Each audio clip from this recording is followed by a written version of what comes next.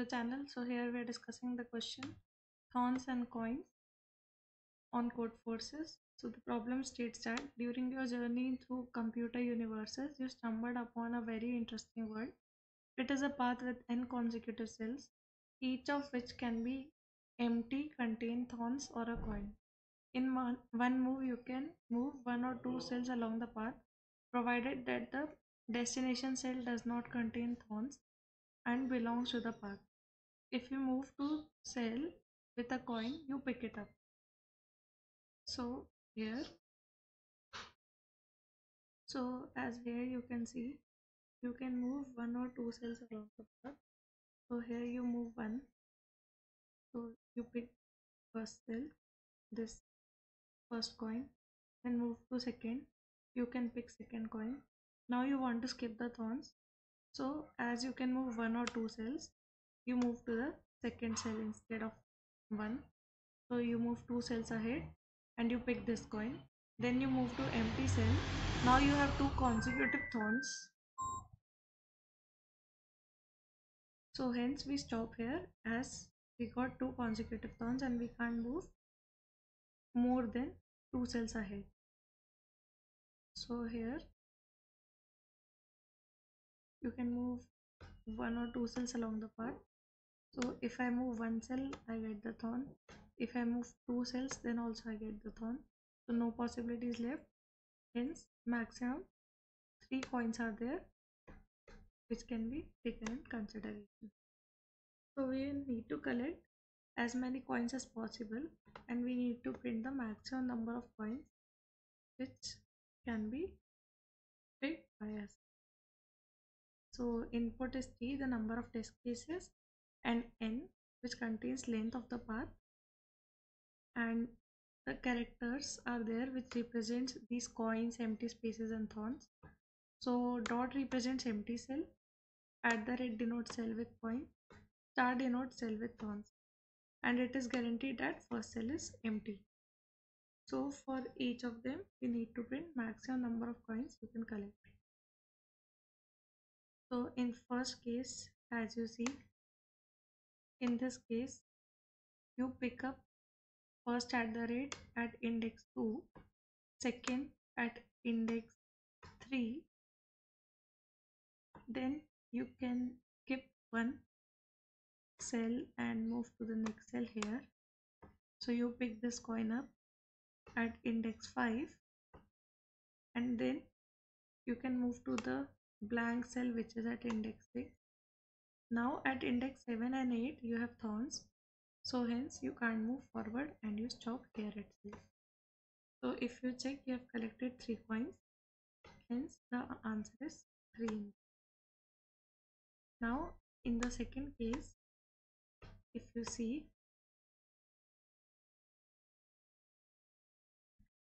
you check here. Starting point is always empty you know. You move to the next cell so you can start with index 1 if you want you can skip index 0 as it is always an empty cell and it is guaranteed in the question as it is written here. So we start from the second cell. We have continuously at the rate at the rate. So we can move to index 2 3 4 5 without a break. And hence we can cover all the four coins so the output is 4 in this case. Now in case of the next one we have two consecutive at index 2 and 3 then we can move to index 4 or you can directly move to index 5 then you move to index 6 where you find another cell. And then there are thorns three thorns. So we can't move forward. Hence, wherever were the cells in second, third and sixth index, so we can collect them and the output is 3 in this case. So we can cover empty cells, we can cover the cells with the coins, but we can't cover cell with the thorn. So that's the idea of the question.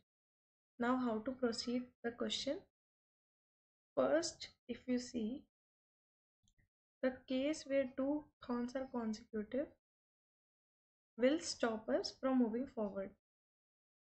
So we need to check if two thorns are consecutive or not.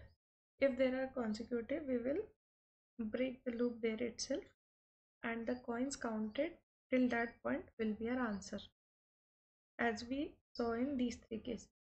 Now let's look at the case of suppose here is dot at the rate then a thorn then at the rate and then suppose you have one thorn one empty cell and then one thorn and at last one at the rate.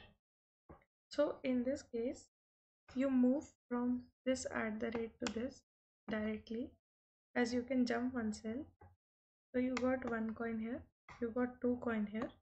And now here is an empty cell. So you can jump to empty cell.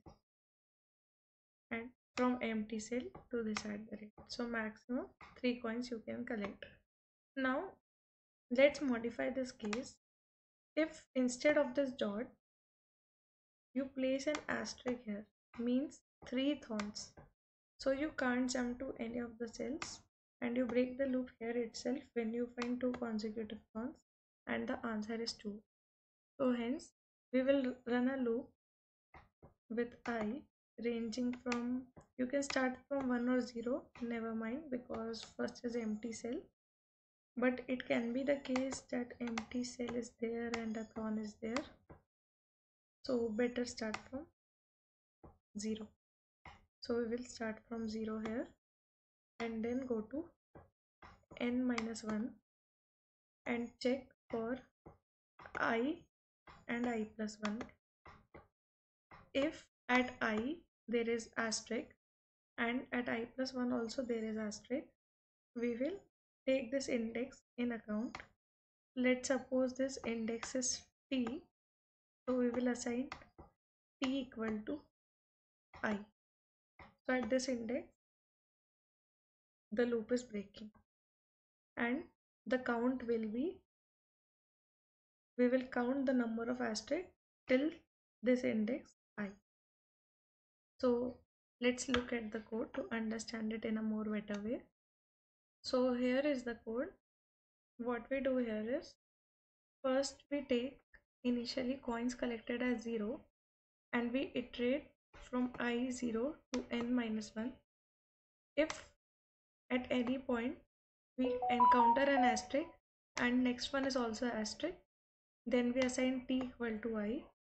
So at t equal to i you get the index where our last asterisk was there and we break the loop here itself. Otherwise we will increment by now to count the number of asterisk in python you can use path till point till index t dot count asterisk. So it counts asterisk till that point. Now in case of c++ you can write there path i'm writing path as p p dot begin comma p dot end plus x comma at the rate hold this in count function. So we have count function in C++ you can use that to count this. And this will be our t which is the index I hope you all understand this solution. Thanks for watching